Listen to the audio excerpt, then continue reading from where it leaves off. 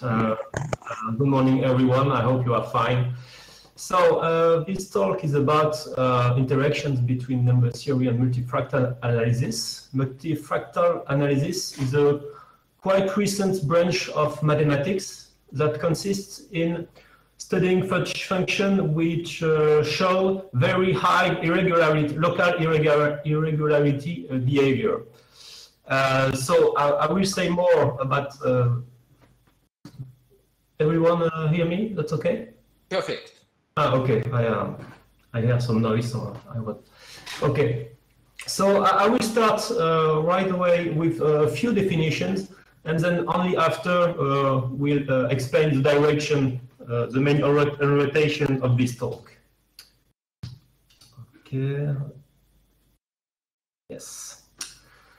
So, um, so we need a tool to measure how um, function can be irregular uh, in the neighborhood of a point x naught. So we consider f uh, locally bounded function. And we consider here um, generalization of a Taylor expansion. So we say that f is in c beta x naught if uh, f is well approximated by a polynomial in x minus x naught and with precision, uh, absolute value of x minus x naught to the beta uh, in the neighborhood of x naught. So, uh, and p is a polynomial with degree less than beta. With this definition, uh, p uh, is unique. And uh, actually, the Hölder exponent is the supremum of all, all of the beta such that f is in c beta x naught.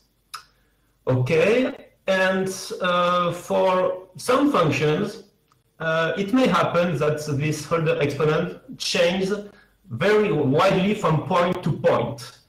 And so to measure this phenomenon, to, to have a good idea of it, we can consider the iso-Hölder set, so the set of points which share the same Hölder exponent.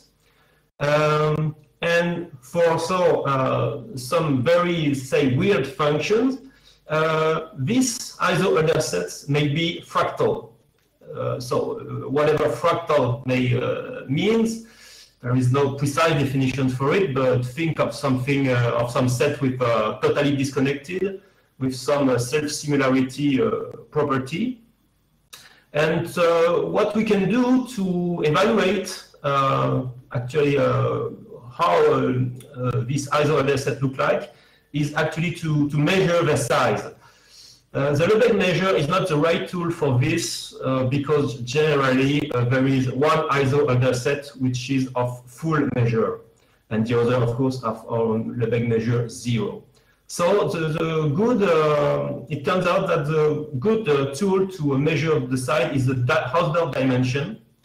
And so we compute the multifractal spectrum, so uh, the uh, application that maps uh, beta to the Hausdorff dimension to the ISO, ISO Hölder set of index beta.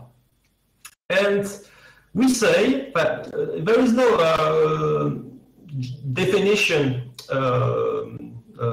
there is no agreement on a definition of what a multifractal function is, but some authors say that say that uh, a function is multifractal if the image of uh, df contains a non-empty open interval, uh, reflecting the uh, how chaotic is uh, the local irregularity uh, regularity of f. So, and it turns out that such function um, can occur when modeling some physical phenomenon historical, historically, this was uh, for the study of the fully developed uh, turbulence uh, theory developed by Kolmogorov. Um, but we can meet we can meet such a function in other area, traffic analysis, modeling of economic signal, and other other areas. And um, First, uh, now mathematically, mathematically speaking, the first problem is, does there exist such function, uh, such a function? uh, which is a multifractal. And the answer to this is non-trivial. Uh, there are several ways to build some multifractal function. Uh, one way is to uh, consider some functional space and use some Baire argument, which tells you that there are plenty of multifractal functions, but of course, which uh, this argument gives you not an example, uh, effective example of it. Uh, you can also consider some stochastic sample path of a stochastic process. But, and here we are exploring an, another way, which is simply considering uh, infinite series uh, which are made, let's say, uh, to, to produce some high local irregularity. And it turns out that many of these functions are connected or arise from a number theoretic situation. And so my point here is to draw some examples uh, met in the literature and uh, to explain uh, some ideas. Uh, so this is more an expository expository talk than focusing on a recent results. And okay, I, I, will not always give precise assertions. I will focus more on the on the ideas. Okay, so let's try to uh, get. Uh, I mean, first, first um, two remarks, some remarks on the multifractal function. So I uh, put here put here the the definitions of the Hölder exponent. And uh, yes, first note that the, definition is made so that uh, the cusp uh, absolute value x minus x naught to the beta as uh, as expected Hölder exponent equal to beta, except of course when beta is an even integer uh, in this case, f is c infinite, and the Hölder exponent is also infinite. Another uh, remark, uh, uh because of Taylor-Young formula, if f is n times differentiable at x naught, then the Hölder exponent is larger than n. And so considering this uh, last remark, it's quite natural to, um, uh, when searching for a multifractal function, to look at uh, the example of functions which are continuous but nowhere differentiable. Uh, and an example we uh, I, uh, we probably uh, you probably encountered during your studies is Weierstrass functions, which are let's say highly lacunary trigonometric series.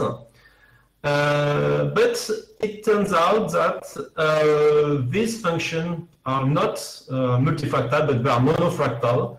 Uh, here uh, we I adopt a normalization so that the Hölder exponent is equal to a at every point. this kind of result can be showed by using wavelet arguments, something I will explain later. So, so it doesn't work. And now the first example arising from a number theoretic situation is a very famous uh, result by Delange uh, in 1975. Um, so this is about the average order of the sum of digits. So here I focus on the case uh, on, uh, on base 2. So uh, here we sum all the sum of uh, we sum the sum of binary digits of n up to capital N. Uh, so the expected value is one half times number of terms times so uh, the expected uh, the the number of digits of uh, n. So log n in base two, and here uh, the rest uh, actually Delange proves that this is a function of a fractional part of log n in base two, and g is a continuous and nowhere differentiable function actually for this case, we have uh, an explicit uh, we have a representation in, uh, as an infinite series of G, where there is a Lipschitz continuous function. And so here is a graph of uh, G. But again, it turns out that this function is uh, monofractal. Uh, all, the exponents are equal to 1. Uh, so, and uh, one paper when this is implicitly done is a paper by Tenenbaum in 1997. And of course, I focus on the case of the sum of binary digits, but uh, this is uh, true also, this phenomenon hold, holds for uh, many other, say, digital functions. Okay, so now I will uh, present the first, our first example of uh, multifractal function. This is not the first uh, uh historical uh, multifractal function. Uh, ne nevertheless, this function actually, not this one, okay, first the definition, sorry. Um, so we consider the sawtooth function, function b, the first Bernoulli function. So this is the fractional part of x minus one half if x is not an integer and zero else. And so we consider a weighted sum of dilatation of b, so weighted by 1 over n squared. So we have a normally convergent series, uh, so which defines a continuous function. And in fact, Riemann consider this function, which is uh, almost the same, uh, when presenting his theory of integration, because this function is integrable in Riemann sense, but is not in Cauchy theory integration. Um, okay, so let's try to uh, study the local growth of H2, uh, H2, uh, yes. So we write this. And uh, we have to study actually how many integers uh, there are between nx and nx plus nh. And you can actually the, you can take, let's say, h sufficiently small and um, restrict yourself to n not too large so that actually nh is less than 1. The, the other terms are uh, can be trivially bounded. And so you, you are interested in the fact if there, are, there is or not an integer between nx and nx plus nh. And whatever um, nh can be small, but if nx is very close from an integer, then you may encounter a jump, and so an irregularity uh, behavior, local irregularity behavior. So we have to measure how close nx is from uh, an integer. And the right, the right tool for this is the theory of continued fraction that was uh, already presented uh, uh, uh, in this conference. But uh, I state it, I um, present it again. So we can consider the sequence of the what is called the best denominators. So the qk. Uh, so here uh, the norm of uh, y denotes the distance from y to the set of integers. And so the qk uh, satisfied um, the norm of qkx is less than q the norm of qx for all q less than qk. So we choose pk, the closest integer from qkx, and this sequence of uh, fractions, pk over qk, is called the sequence of convergence uh, of x. And uh, so this, these are, in the sense, in the sense described here, uh, the best approximation, uh, rational approximation of x and where the uh, well-known uh, lower and upper bound for the distance from x to uh, pk over qk. And so here this is less than 1 over qk square, but it may happen that for infinitely many k, uh, you have here uh, something better than 1 over qk uh, to the square. You may have a better exponent than 2, and this is uh, how uh, I introduce the irrationality exponent of x. So this is the supremum of such exponent mu, such that there are infinitely many k, such that the distance of x to my pq over qk is less than 1 over qk to the mu. And so uh, Nikolai Moshchevitin already um, give uh, gave another definition of uh, the equivalent, of course, but maybe with a, I'm not sure with a different normalization of the definition of if, if irrationality exponent of x. Okay, and so this irrationality exponent, uh, yes, helps us to measure how uh, well is a, a, real number x is approximated by rational numbers. And uh, the key idea to have in mind is, okay, so thanks to this uh, uh, inequality and the definition of mu, we can show that if the irrationality exponent of x uh, is finite here. So qk plus 1 is less than the power of qk.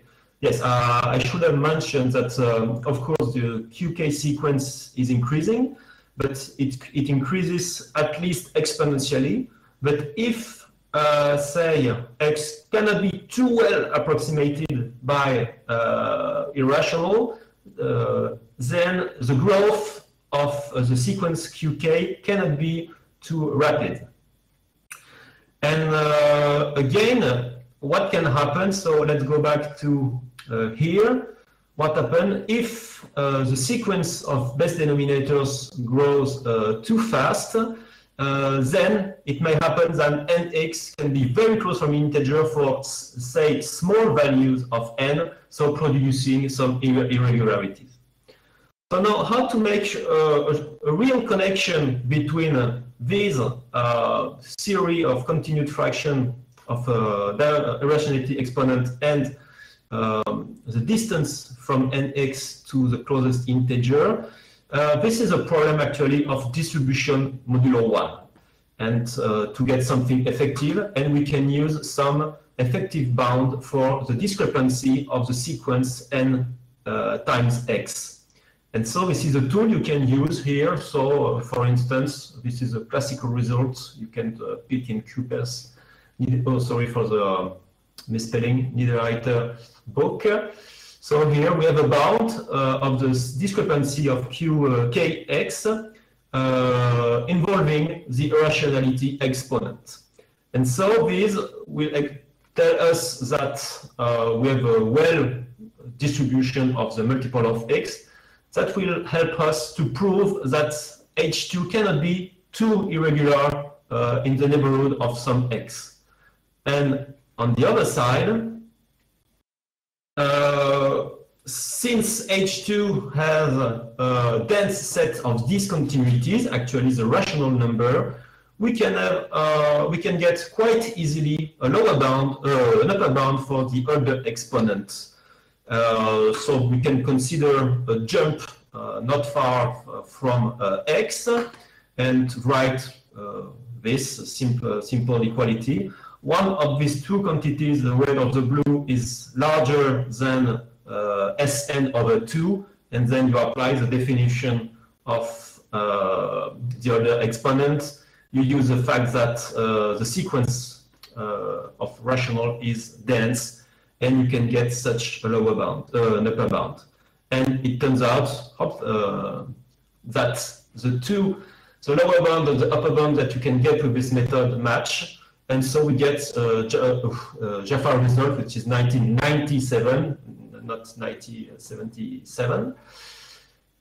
And uh, so we compute, uh, uh, okay, so we have the Hölder exponents. And it turns out also that we know uh, the Hausdorff dimension of the set of, in, of um, numbers that share the same irrationality exponent, uh, mu, with this 2 over mu. And thanks to this, you can get uh, the multifractal spectrum uh, of the H2 function, which is so, so this function is multifractal. Okay, and in fact, uh, well, uh, uh, sorry. Yes. So, and uh, Jaffard studied more generally uh, infinite series of the form as uh, a um, weighted, uh, sorry, weighted sum of dilatation of B, where he an is uh, summable uh, L1 sequence. Um, okay, and in fact, this function uh, were encountered uh, uh, sooner in the literature. They are known as uh, Davenport series because uh, with the name of Davenport, which uh, settles settled a problem on this series, and this is what I'm going to talk now. This is a Davenport's problem from in 1937. So again, considers a sawtooth uh, function and uh, its uh, Fourier expansion,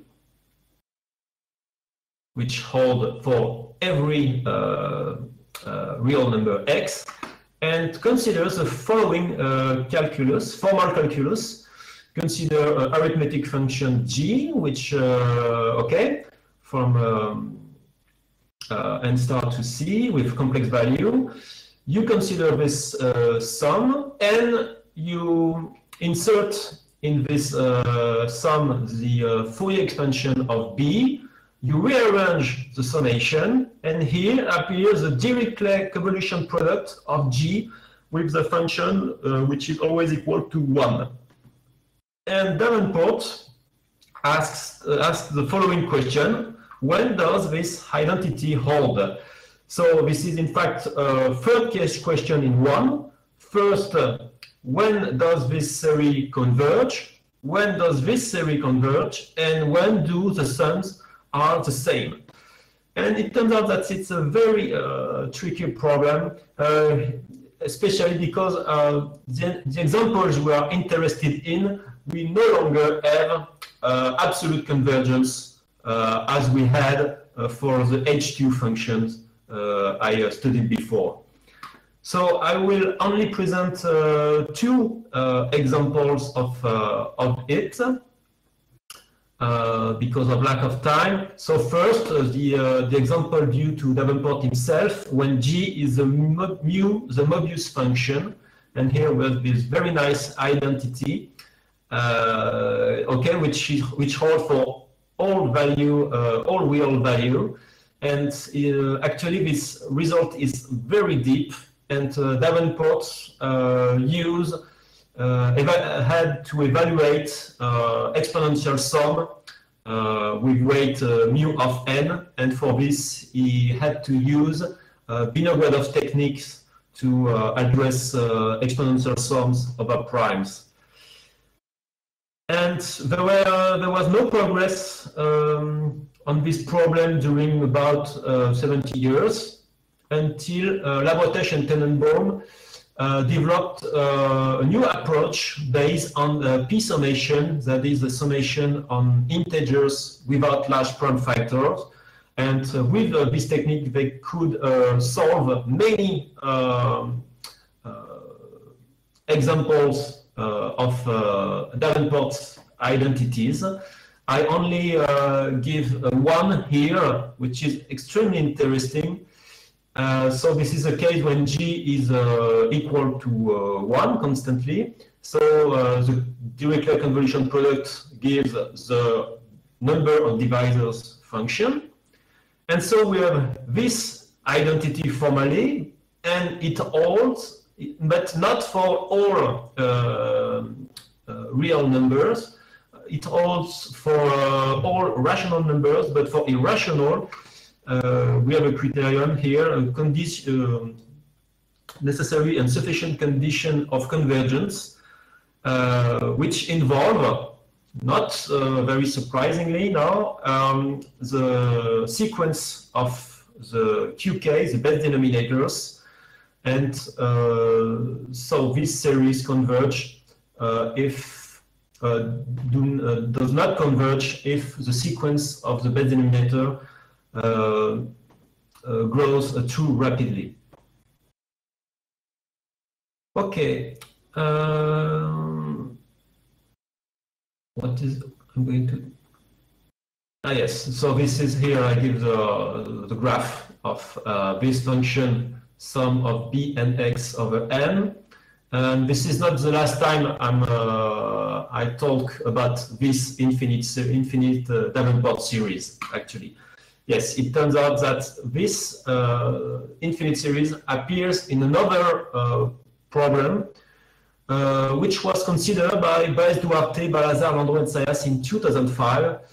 Uh, they were interested in the following function, A, which is the multiplicative autocorrelation of the fractional part uh, function with a weight dt over t square. So they were in, interested in this function because it appears when studying the Nyman criterion from Riemann hypothesis. Um, this criterion uh, led them to study some Gram-Schmidt determinant and um, some coefficients of the matrices uh, can be uh, expressed with this A function. And so they decided to, to, have a, to, uh, to study this function. They could uh, obtain a graph of it and observe that it seems that every rational point, the function a seems to reach a local uh, maximum and is not differentiable. And that, that's exactly uh, what they proved. And I will focus on the differential uh, differentiality matter. So they prove that A is not differentiable at every uh, rational point. They, they got a more precise result, uh, actually. And the question was, of course, uh, what are the other uh, uh, differentiable points of A? Uh, there is an argument showing that A is almost everywhere differentiable. And uh, we solved this with uh, Balazard in 2013. there was, after that, another proof by Labretèche and Tenenbaum of the fact that the differentiability points are exactly the point of convergence of uh, our Davenport series uh, we encountered uh, before. And why is that? Because actually there is a link, direct link between the A function and uh, this Davenport series. Uh, this is uh, an integral of it, modulo a differentiable function. And so we have a heuristic which fails actually if x is a rational number, but it works for irrational number, uh, A is differentiable if and only if this uh, infinite series, infinite Davenport series is convergent. Okay, so, okay, I have to look at the time. Wow, okay. Uh, now, I will now consider uh, what is generally the first example one gives uh, for a multifractal function. This, with, uh, this is Riemann's, say, non-differentiable function because it was believed at some time that it was uh, nowhere differentiable, which is actually not the case. So this is a lacunary uh, uh, trigonometric series, but less lacunary than a Weierstrass function. so um, yes, this was a long-standing problem actually to decide uh, if uh, this function was or not uh, nowhere differentiable. So Hardy proved that um, for all points except perhaps for uh, rational integers which are quotient of two odd integers, that R is uh, not uh, does not belong to C to the three four of X. So showing that there are, that the function is not differentiable at these points. And we'll have to wait 1970 uh, and, uh, until Gerver proved that actually uh, R is differentiable at all um, rational integer uh, which are uh, of the form 2n plus 1 over 2n plus 1. You can see this here, for instance, uh, in 1.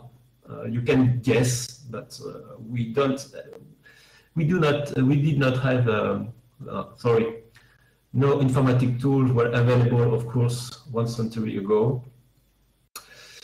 Okay, and uh, the proof of Gerver was uh, simplified um, uh, by Itatsu.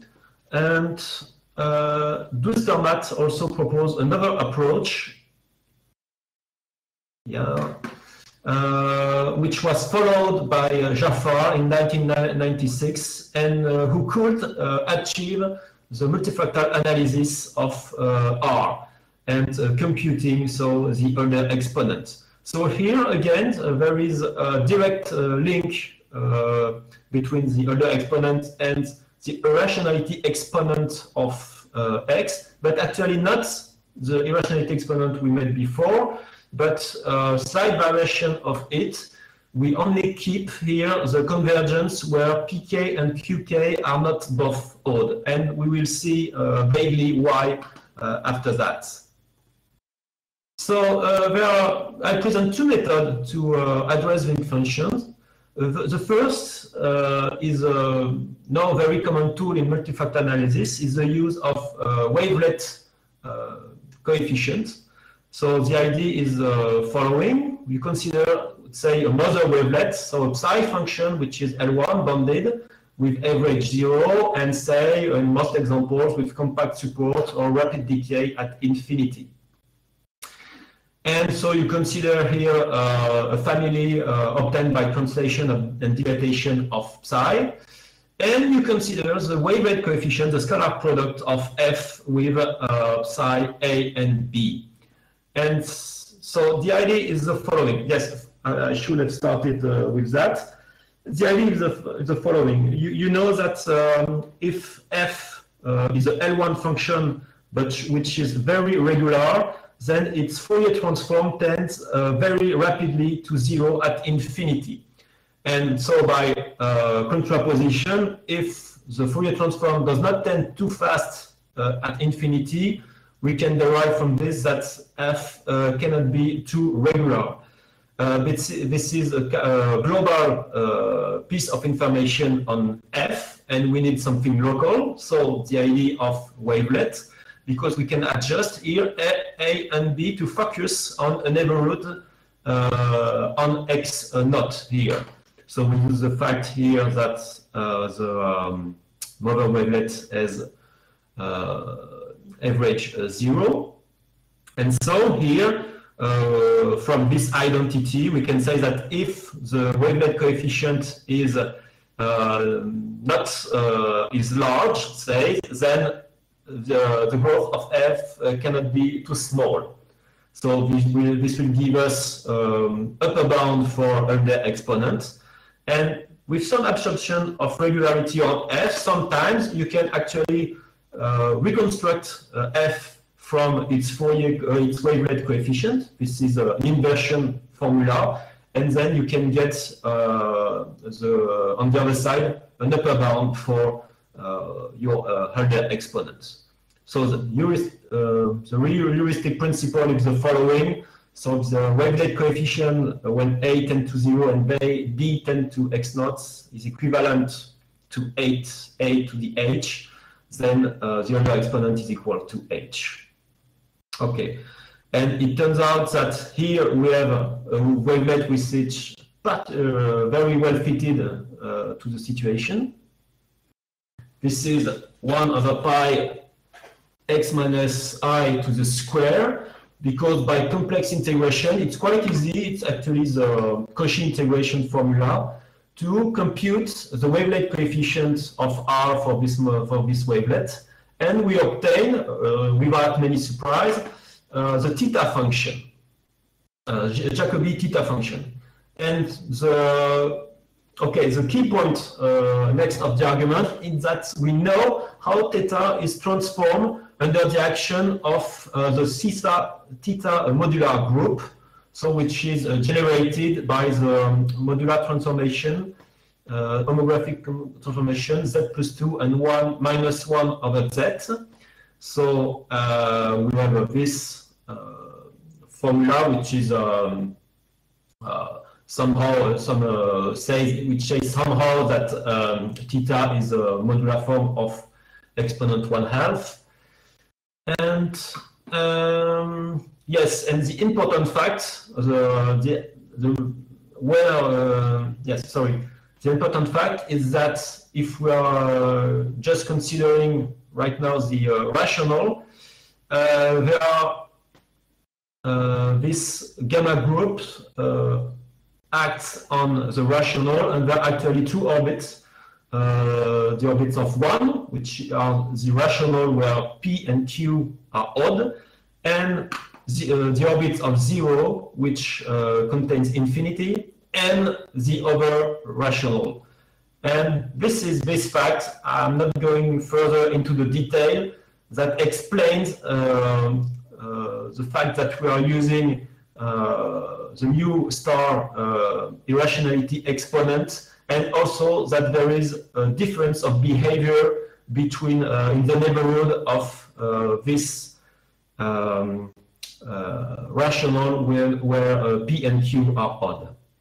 And this is a, a very nice proof here, and I highly recommend it to, to read. Okay, and there, are, there were, after uh, Jaffard's work, there were uh, extensions of it uh, by considering other Lacunary series arising from modular forms, and I here uh, give uh, some uh, references. Another method is consists in doing Fourier analysis. so here uh, Uh, it's more convenient to consider this function, instead of uh, the Riemann uh, function. Okay, and uh, we consider here okay uh, the growth of t at rational. Okay, we can rearrange the sum by um, summing over the class of congruence of n and then here we can use a Poisson summation formula, and that will split, let's say, the problem in two, two parts, an arithmetic part where a Gauss sum appears, and an analytic part, we have an integral here that uh, we have to evaluate asymptotically.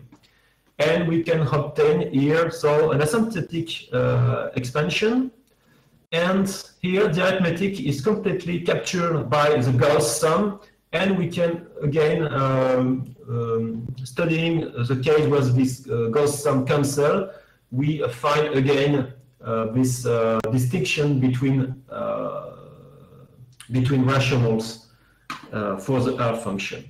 Okay, and we can, uh, the advantage of this method is that you can use it to attack some um, Uh, Riemann uh, function, but without, uh, uh, sorry, instead of n square, you can consider over polynomial. There is no, there is no modular form behind it anymore, but you can use what we know in number theory and let's say um, more generalized uh, Gauss sum and obtain results. And that was that uh, that is what Chamizo and Ubis did uh, a few years ago. Okay. Now another example. I will come back uh, to uh, this Davenport uh, series. Uh, I recall the results by Laborde and Tenenbaum, and here we would like actually to this function here is uh, quite familiar, not really number theory, but in dynamical systems. Uh, if we remove the minus one to decay, this is actually the Bruno function, uh, almost uh, what is called the Bruno function, which occurs when uh, studying uh, the iteration of a holomorphic function in the neighborhood of a fixed point. So I, uh, I don't have time enough time to, to explain in details what it is about. Just, uh, just giving uh, the definition of the Bruno function. So I give actually two definitions. One involving explicitly the continued fraction, the convergence of x, and another one which is very interesting, which involves the Gauss map uh, so this is t of x, this is 1 over x mod 1, which is known to uh, generate actually the continued fraction expansion of a real number x. And if you extend this uh, phi function to R uh, to irrational by one periodicity, you get uh, what is called the Bruno function. Okay, and uh, some properties are known on this function. So and I said uh, it very uh, looks like uh, the the oh, sorry the infinite series we, we've seen before without the minus one to decay. Uh, these convergence points are called actually Bruno numbers. So this function is uh, L1. It has actually, which uh, we have uh, here a stronger pro property. It has a bounded mean uh, oscillation.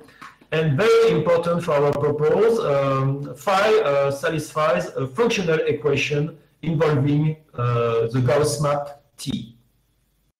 Okay, and here, this is a graph of a Bruno function, and I borrow here the expression by uh, Tanguy Rivoal, a bear's paw print, which is very uh, meaningful, I think.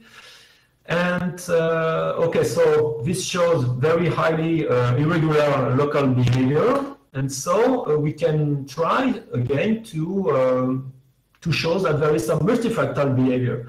So of course, the uh, Bruno function is not bounded on any interval, so we have to use a slightly different notion of uh, Hölder exponents. We will see that. But first, uh, first result on the local behavior of phi uh, was given by Balazard and myself in 2012. So we um, identified the Lebesgue points of uh, the Bruno function. So for L1 function, uh, local integrable functions, the Lebesgue points are, say, the points where f is uh, continuous in average uh, in, uh, at uh, x naught.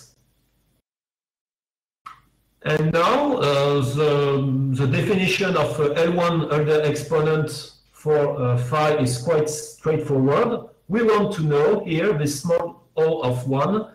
we want to get a more precise evaluation we want to replace this by beta to the uh, rho uh, to the beta, and the Hölder exponent will be the supremum of the beta, such that uh, this holds. And so this is a notion of uh, L1, L1 Hölder exponent of phi.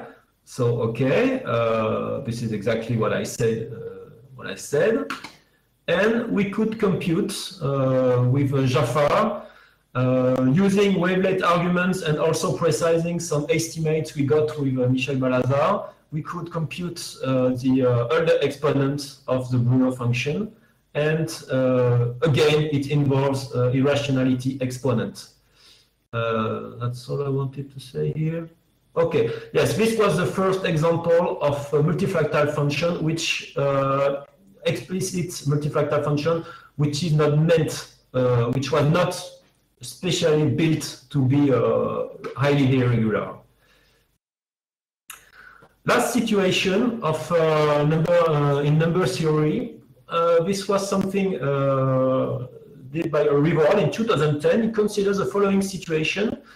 He wanted to study the distance between so uh, the first multiples of x, but one, um, to uh, a subset uh, of the k over n, Okay, and uh, so uh, the yes, this led him to consider this uh, sum, which can be uh, okay. You can write it like this with the norm function, the distance to integer.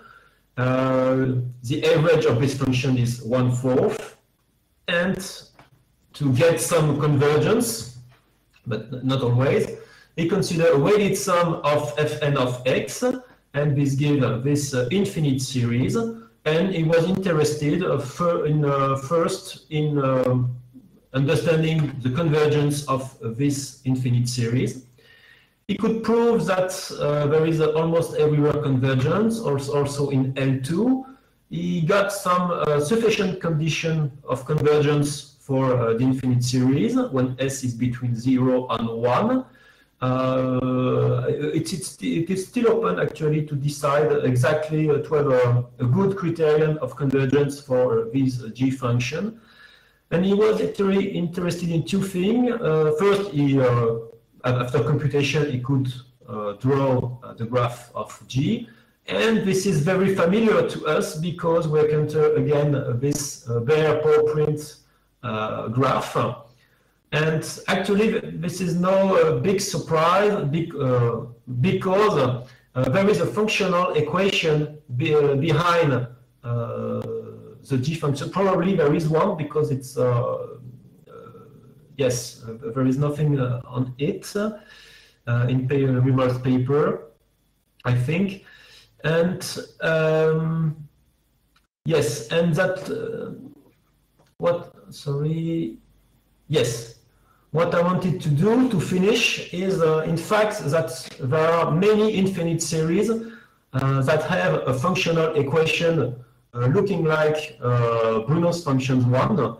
And so this explains why we have uh, we can encounter some multifractal behavior. So I would like to uh, illustrate this by again focusing on this Davenport series. Uh, you can get a functional equation uh, very nicely by considering this Sylvester identity. So uh, this is only, uh, you have to count points in a rectangle, uh, rectangular area here and to split the domain in two.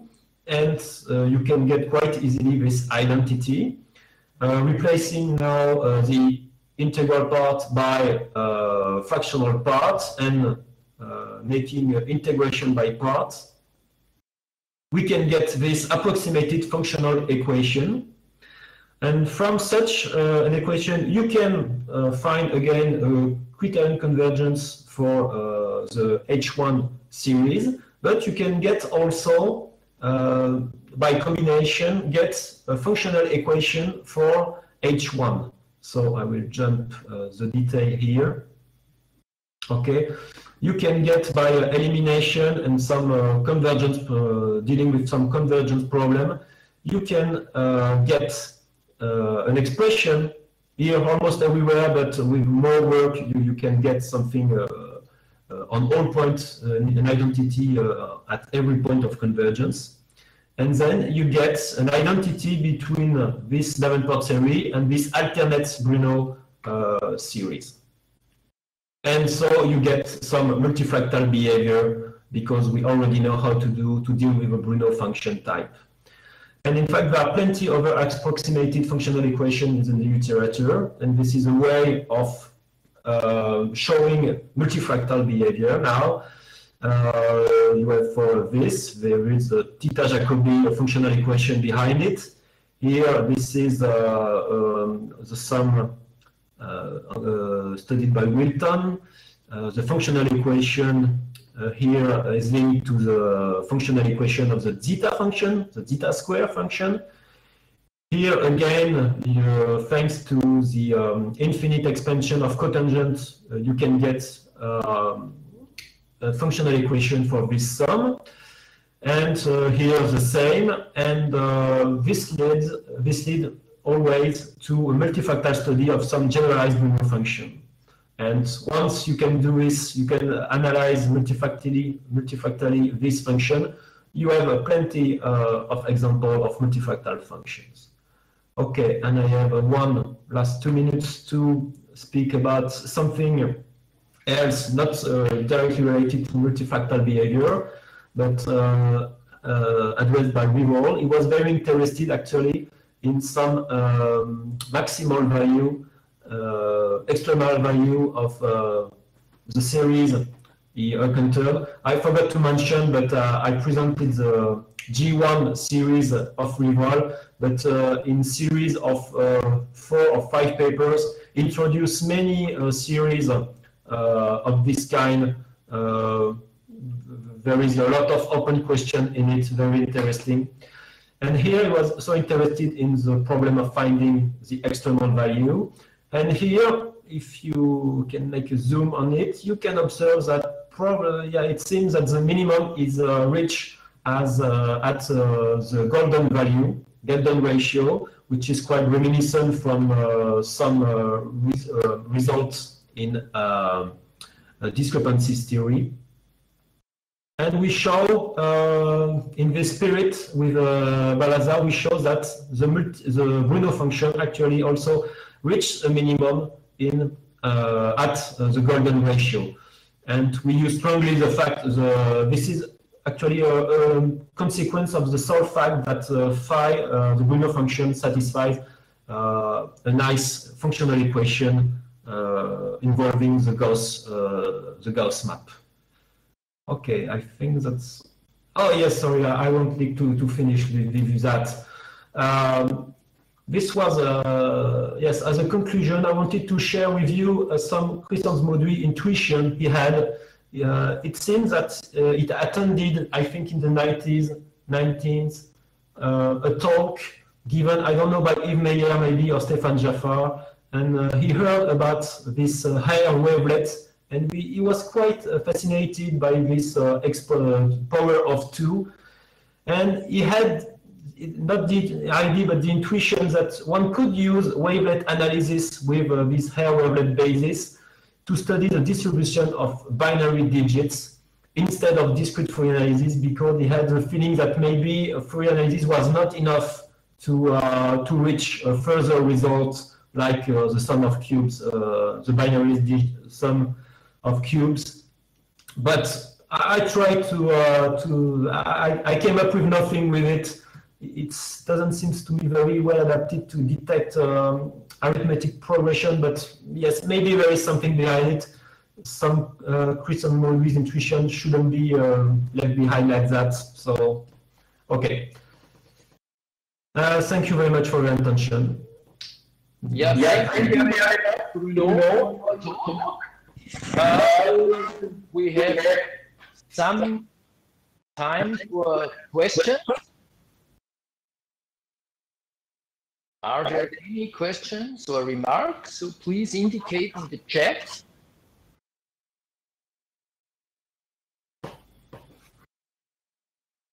No questions? Yes? Pierre-Yves is typing something.